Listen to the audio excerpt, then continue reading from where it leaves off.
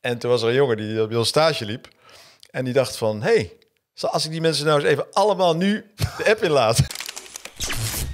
Als jij nou eens even terugkijkt naar de afgelopen paar jaren... en haal er dan eens een paar echt dat je denkt... oh man, dat we dat, dat, we dat overleefd hebben. Eentje die wel bij ons dan wel, wel af en toe bij, bij de jaarlijkse boren naar boven komt... is we hebben, in het begin hadden wij, ehm, eh, op dag 1 hadden wij vier autootjes.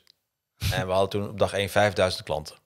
Nou, dat gaat natuurlijk niet de vier autootjes. Dus dan hebben we overnight hebben een wachtlijst gemaakt. Weer in elkaar gehackt, want we hadden natuurlijk dat allemaal zelf gebouwd.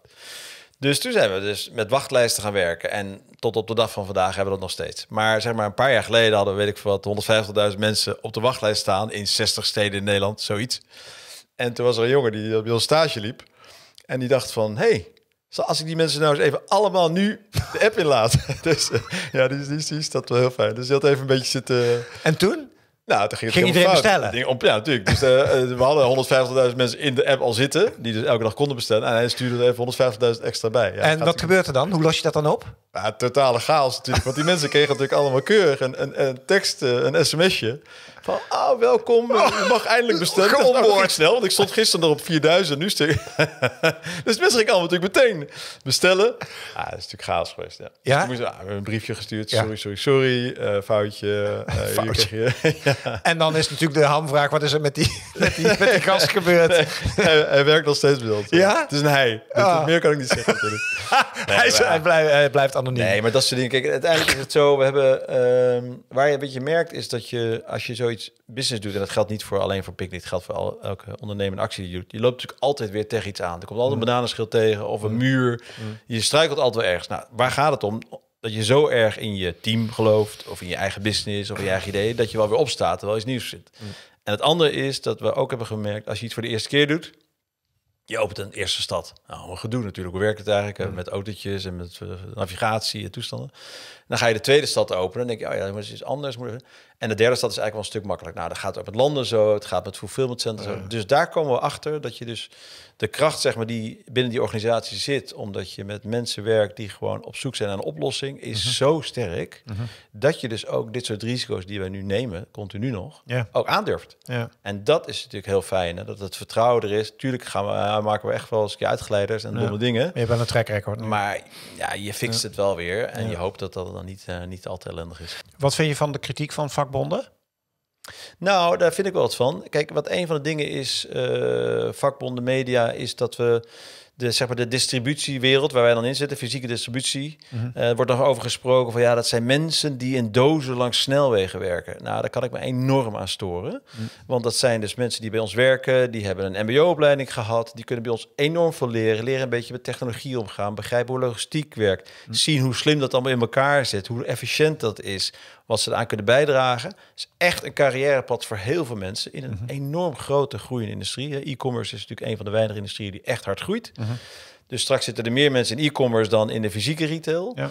En het praten over onze markt, het type banen dat daar is, op die manier vind ik A, heel negatief voor die mensen. Want mhm. eigenlijk zeg je dus soort van, ja, je hebt een minderwaardige baan. Nou, dat vind ik gewoon schandalig.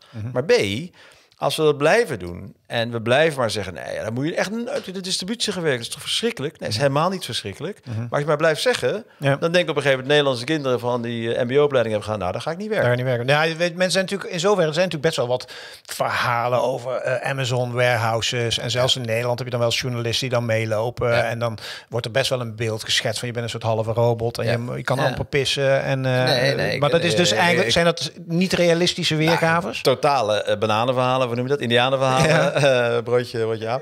Kom eens bij ons kijken. Zeg ik ook tegen elke, uh, wie dan ook daar iets uh, lelijks over zegt. Zeg, kom maar, kom, kom maar langs. Je hoeft helemaal niet aan te bellen, je hoeft mij niet te bellen. Ga gewoon langs en zeg dat je van mij mag komen. En ga maar eens naar binnen, ga maar eens kijken. En proef dan de sfeer en kijk hoe die mensen daarbij in werk staan. En hoe ze wel leuke collega's hebben. En hoe ze wel een goede sociale cohesie is. En hoewel ze, ze wel allemaal iets leren van e-commerce en een vak leren. En Tuurlijk gaan niet echt alle mensen 100 jaar bij ons blijven werken. Hoeft ook helemaal niet. Maar het is een hele goede start voor je carrière voor heel veel mensen.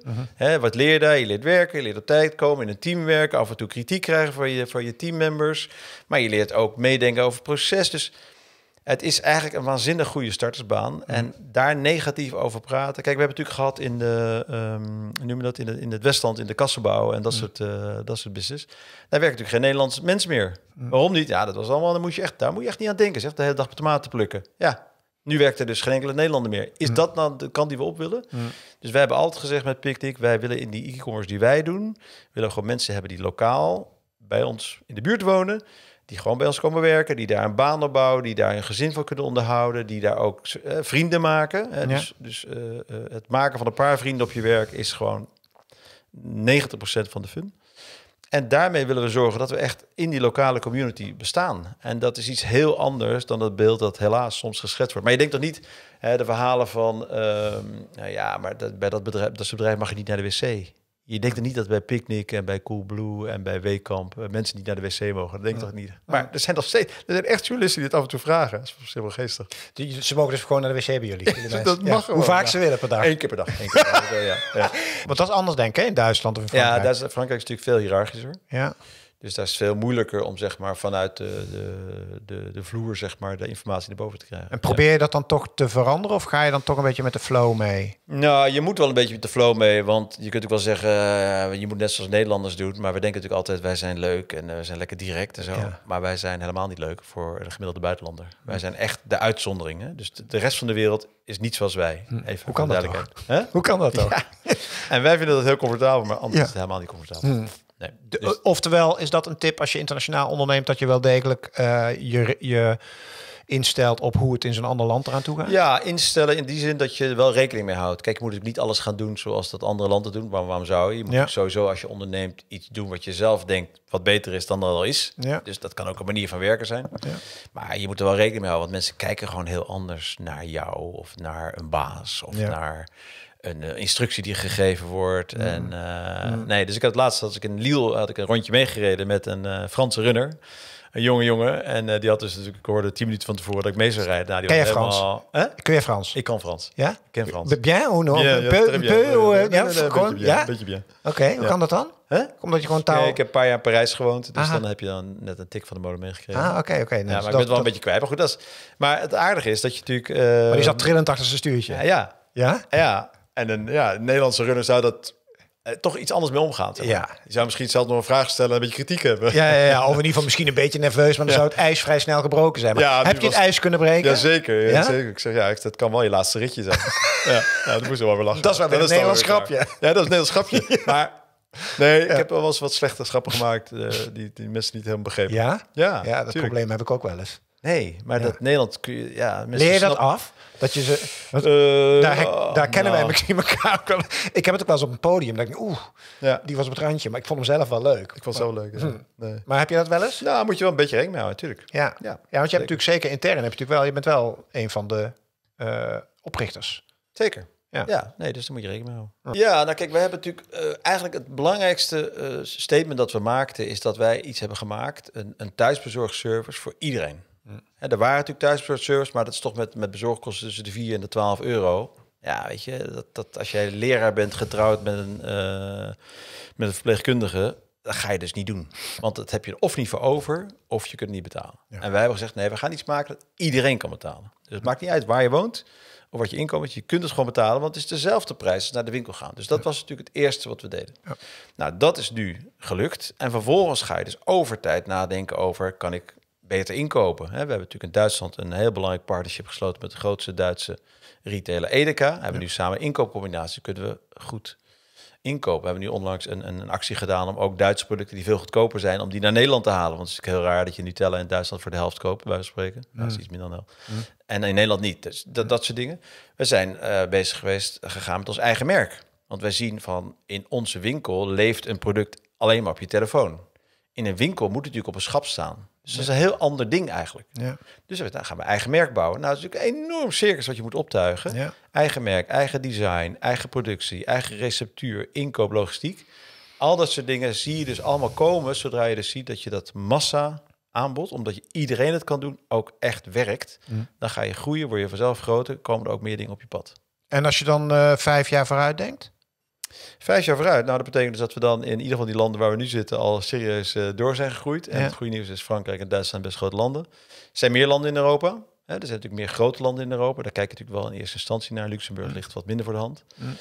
Eh, nou, en, en, en kijk, het werkt wat minder in landen, zeg maar, eh, zeg maar in Azië bijvoorbeeld, waar zeg maar, de, de, de arbeidsloon natuurlijk relatief laag is. En waar een heel groot verschil tussen zit tussen de mensen die het gebruiken en de mensen die het werk doen.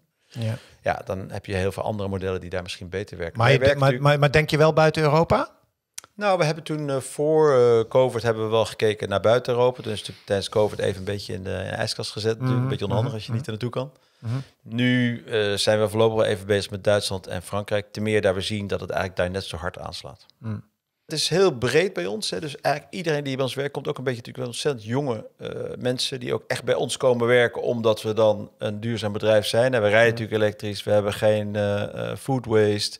We hebben goede arbeidsomstandigheden. We hebben een voedselbos waar we het aan het bouwen zijn. We verkopen geen sigaretten. We hebben, nou ja, er zijn eindeloos veel dingen. Nou, wat we wel gaan doen nu, over tijd, de komende, komende jaar, twee jaar, is het wat iets meer duidelijk maken naar de buitenwereld. Kijk, dus wij intern snappen ongeveer wat we aan het doen zijn. En er zijn ontzettend veel mensen die er enthousiast van worden. We hebben een heel team dat elk jaar voor de voedselbank een actie doet... waarbij klanten een pakket voor de voedselbank kunnen doneren. En dat wordt dan in maart eh, keurig afgeleverd. Nou, al dat soort dingen doen we allemaal. Vertellen we het genoeg aan de buitenwereld? Nou, misschien niet. Dus dat gaan we wat meer eh, doen. Er komen natuurlijk ook allerlei nieuwe regulering komt ons af vanuit Europa, dat je ook veel meer over moet rapporteren. Ja. dus wat doe je dan precies? Hoe zit het dan met je CO2 en met je energieverbruik enzovoort? Ja. Maar daar hoort ook allemaal bij alles wat te maken heeft met solar, met smart grids. En ja, omdat we alles zelf doen en best wel aan de voorkant van de, van de innovatie zitten, kunnen we ook heel veel doen. Ja. Eh, en en ja, dat is dus een heel belangrijk element. En ik denk het andere stuk is waar het gaat om eh, mensen uit de buurt, sociale cohesie, zorgen voor leuke events, dat mensen ook een lol hebben in hun werk, een vriend kunnen maken, autonomie hebben in hun werk. We hadden bij de, eh, bij de Oekraïne, begin van de Oekraïne-oorlog, Mm. Eh, kwamen natuurlijk heel veel Oekraïners uit Nederland, weet je. En toen hebben we een, zes maanden lang een klas van 60 kinderen gehad op ons kantoor, in ons kantoor. We waren aan het verbouwen toen. Er was één verdieping was bijna af, maar nog niet helemaal. Mm. Daar hebben we toen een Oekraïense leraar en een Nederlandse leraar gecombineerd... om daar dus een half jaar lang 60 Oekraïense kinderen te hebben. Met een, met een proms party en zo. Nou, dat soort dingen Mm. bouwt enorm aan, aan dat je fun hebt in je werk... en dat het niet alleen maar gaat om die bananen naar de deur brengen... wat Mm. ook heel belangrijk is, maar Mm. dat je ook iets meer hebt dan alleen dat.